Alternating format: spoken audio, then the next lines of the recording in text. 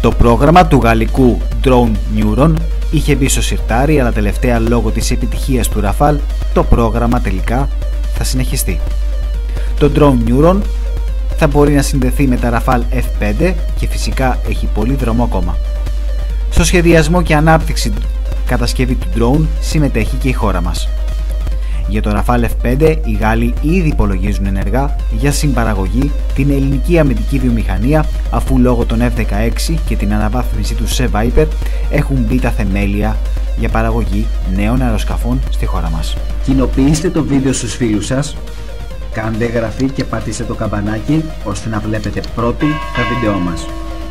Πείτε μας επίσης την άποψή σας στα σχόλια. Σας ευχαριστούμε πολύ.